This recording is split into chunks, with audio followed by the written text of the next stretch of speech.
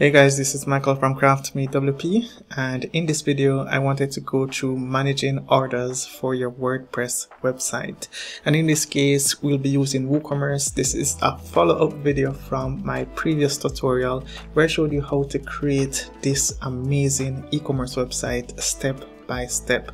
If you haven't seen that video yet, then you can go ahead and check out that video, which should be shown on your screen right now. Anyways, let's dive into the tutorial. So we're on the website and the first thing I want to show you is how to go ahead and add a product to your cart. Well, actually, I'm going to be running through the process of adding a product and checking out before I actually dive into managing orders. So I'm on the Azure Leap, which is one of the products, and I'm going to click on add to cart. Right now, I'm going to click on view cart and I'm going to click on proceed to checkout. Alright, so this is our checkout screen. And of course, here we would put in our billing information. And if I scroll down, you'll see the option to also enter some shipping details. So if your shipping address is different from your billing address, then the customer would pretty much select this. And then they could put in their shipping address here.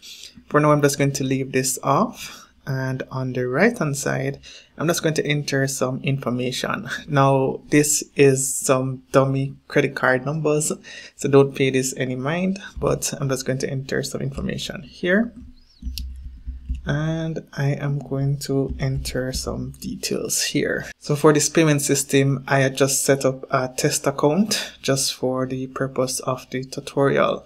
But now I'm going to go ahead and click on place order.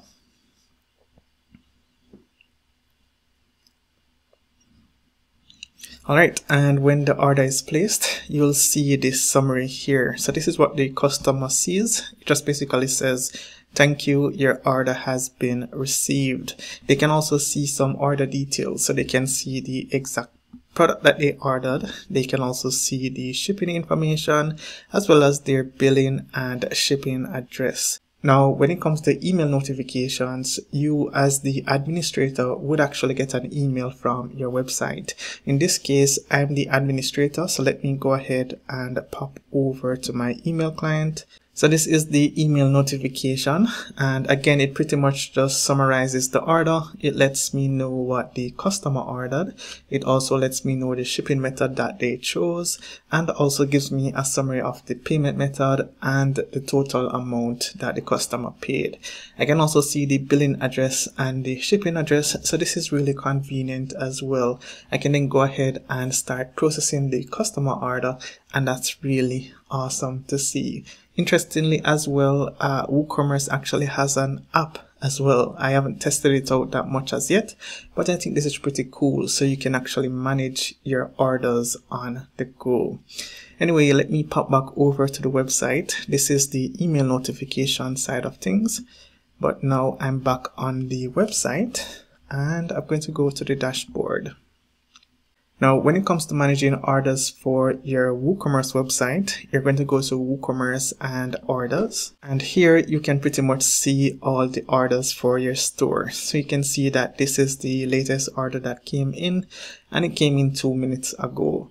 Now, if I scroll to the top, the first thing I want to do is enable some additional fields. So I'm going to go ahead and click on screen options and here you can see that there are some other columns which we can enable. So I'm going to enable billing. I'm also going to enable ship to, and I'm going to enable actions. So now if I scroll down, you can see all the billing information here the shipping information here as well as the actions. Now this just helps me to understand the order a little bit more and just from this screen I can see exactly who placed the order, where it's going and also I can control the status of the order. So on the right hand side where you see this option called complete, I can actually click on this button and mark an order as complete. So I'm going to do it for this example here. I'm just going to click on the checkbox.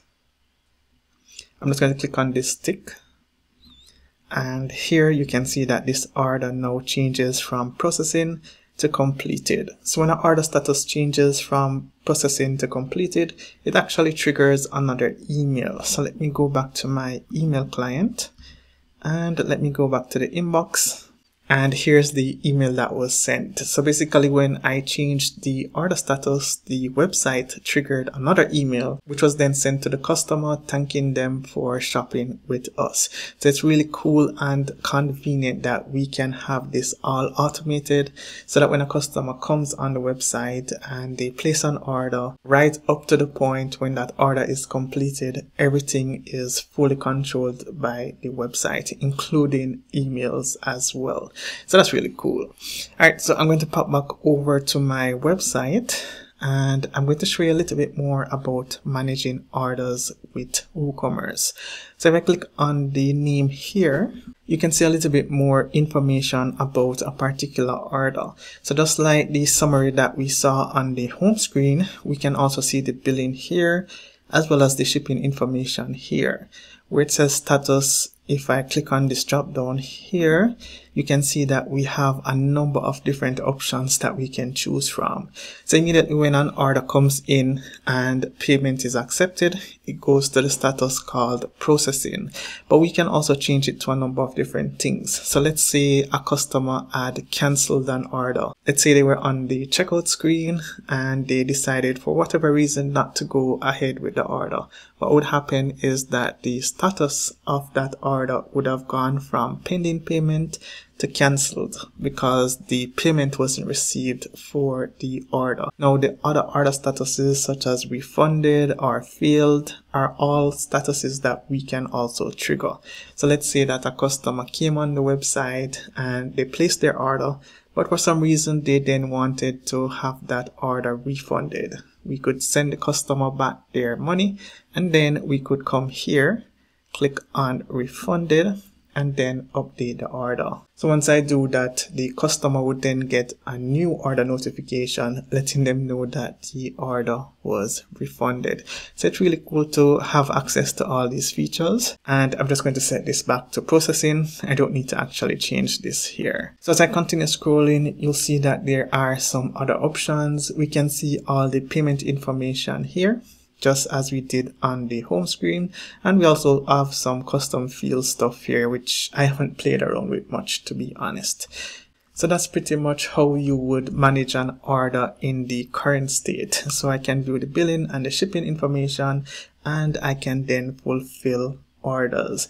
On the right hand side where you see order actions, I can also trigger different emails. So let's say for example, a customer sends me a message and says, hey, I didn't get the email about my order. I can come in here and I can manually trigger this order email. So that's pretty convenient as well.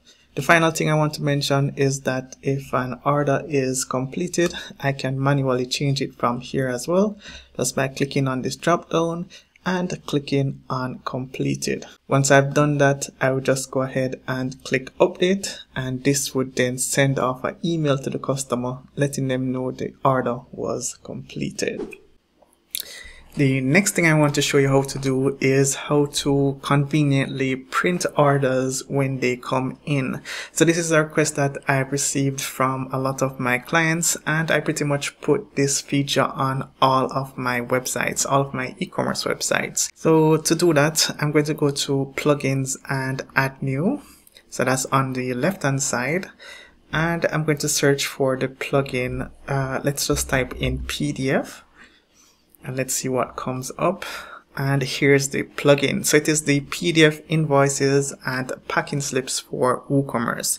As you can see, this has over 300,000 plus active installations and it's pretty much rated 5 out of 5 stars. So I'm going to go ahead and click on install now and then I'm going to click on activate.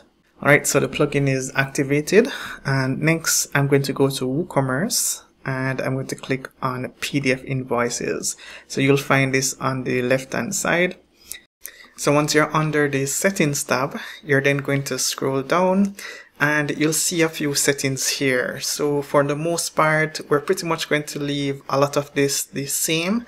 For example, the template settings, we're going to leave this at simple. You can actually create your own templates, but we're not going to do that in this tutorial and if I continue scrolling you'll see a number of different options here. And each of these options have some descriptions so you can go ahead and read them and see if they apply for your own website.